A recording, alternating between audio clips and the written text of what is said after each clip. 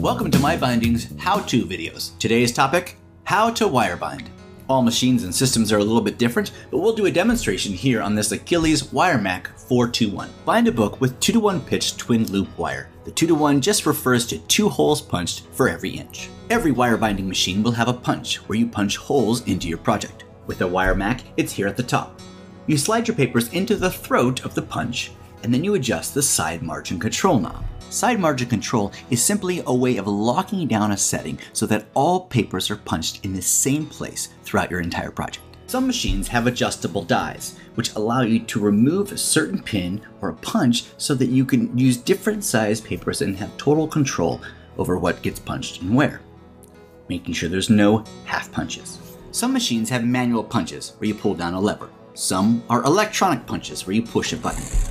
If you like your first punch, continue punching through the rest of your project with the same setting. And depending upon the thickness of your project, you may want to change the depth of margin with the depth margin control knob if your machine has one. Bigger margin allows for more strength.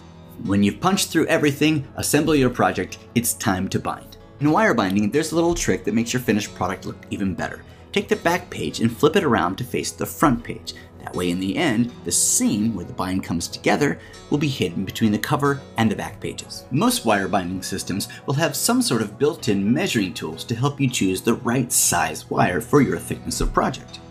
Almost all systems will have a built-in fence that you can drape your wire spine over in order to hold it as you thread your project onto it. As you can see, this can be a little tricky. It does take some getting used to, but you'll get the hang of it. When ready, remove your project and its spine from the fence. It's time to close. When it comes to the closer, be sure to set it according to the size wire spine you'll be using. Underclosed or overclosed wires do not work or look very nice. You place your book and its spine with the C shape of the spine facing down into the closer, and you clamp it closed. And there it is, you're all set. And that's the fundamentals of how to wire bind.